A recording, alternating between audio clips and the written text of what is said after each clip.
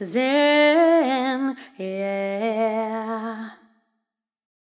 One happy birthday dot com.